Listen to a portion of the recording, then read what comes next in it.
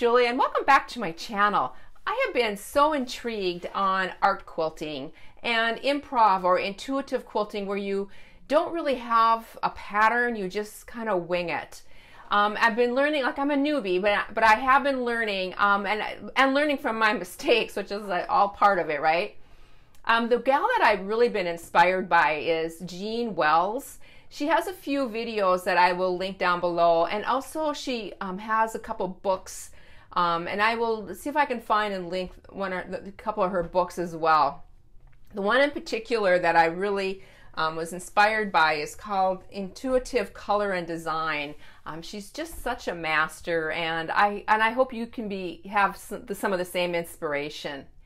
In this particular video, I'm going to be sharing you sharing with you some of her techniques on how to make this gentle um, curve quilting and also some of the accent pieces that she does and also like the, the tiny little slivers of color that she adds. Um, this is really a, quite a simple and easy technique um, I, and it has just really fun results.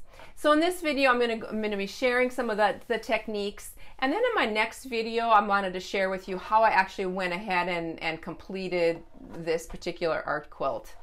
Um, I hope you enjoy this. Thank you much to everybody who's joined me. Let's get started. I've chosen my colors and I have these strips measuring 12 inches long by approximately 2 to 3 inches wide. I wanted to share this cream color. It is, has a lot of texture to it and has little bubbles. And I use that look later on in my art quilt. These are my accent pieces, and these are those tiny skinny strips, and they're measured three-fourths of an inch wide. And then I did some strips, just patched, just did some patching on some of the strips. Let's get started on the on the gentle curve method. I thought this was so easy and fun to do. You do not use a ruler, but you do use your rotary cutter. And you need a sharp blade for this.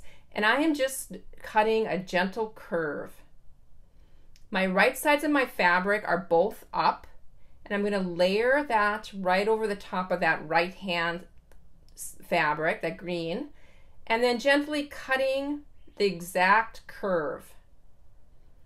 Removing that little bottom scrap there and then flipping them over so right sides are together. Now look, look how they're not matching at all, and that's how they have to be, otherwise the curves are not gonna go together right.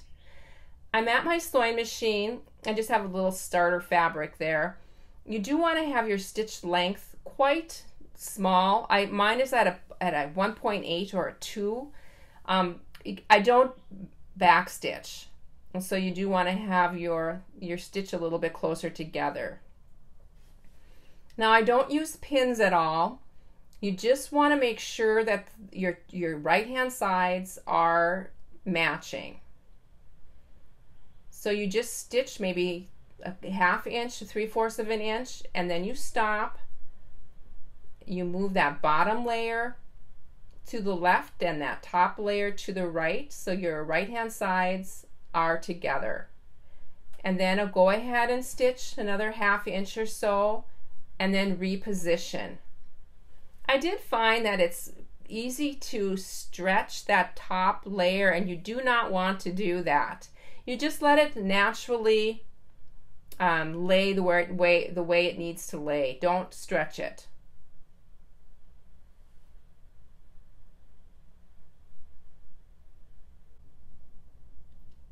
And I'm almost to the end here.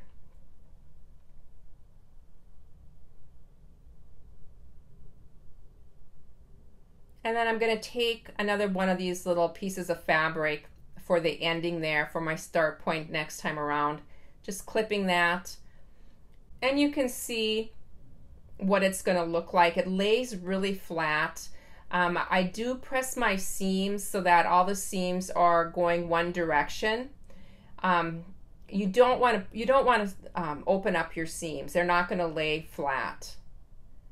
And then onto my next piece, very much the same way, just doing that gentle curve. You want to vary your curves as much as you can. I, I, it's, it's, you have a tendency to do the same curve every time. And then again, laying it just barely over the edge and then cutting the next strip out. I'm going to take this back to my sewing machine and share one more time at a different angle so you can maybe see it a little bit better. Again, your top is together and your right hand sides match. And then you just go slow and stitch maybe a half inch or so and then reposition.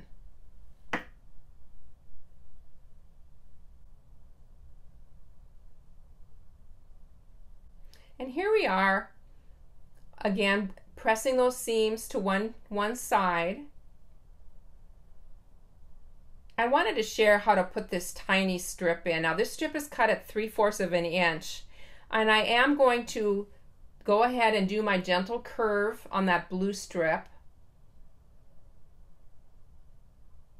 But I'm not going to cut my um, tiny strip. I you'll find that these narrow strips are easy to um, curve without having without having to cut them.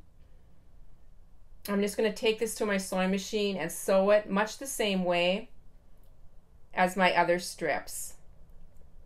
Just getting everything lined up on the top and on the right hand side. And then just gently moving everything over so that, that it matches.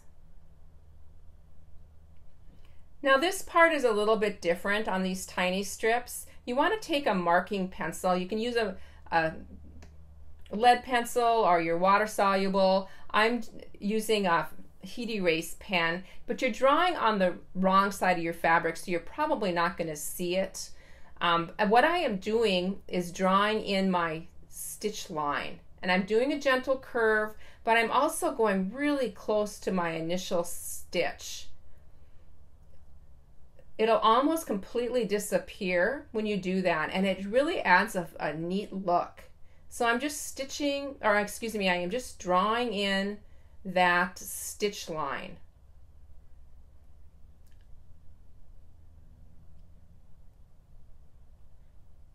Once that stitch line is drawn on, you want to take your rotary cutter and cut a, about a quarter of an inch away from that, that line or that you've drawn on this is going to be your seam allowance. You're going to be doing a, four, a quarter of an inch seam allowance here. So you can see it has that gentle curve. And then I'm going to cut my next piece pretty much the same way that I did the other ones. Just lay it on top, take my rotary cutter, and cut that gentle um, curve.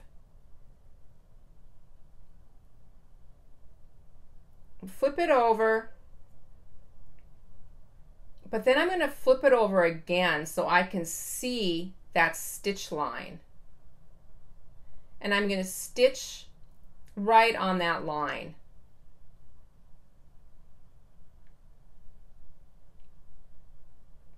This looks like it's fiddly, but it's really quite easy to do because I can I see what, where I'm stitching. I can I drew that little line on there and I'm just following that. And sometimes I'm getting really close to my previous stitch line and that's where those that this color is going to almost completely disappear. And here it looks you can kind of get the idea.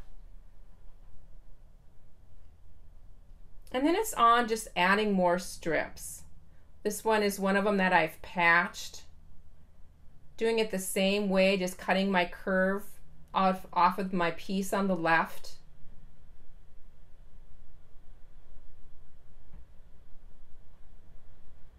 And then we'll be adding this one in the same in the same way, just cutting this out.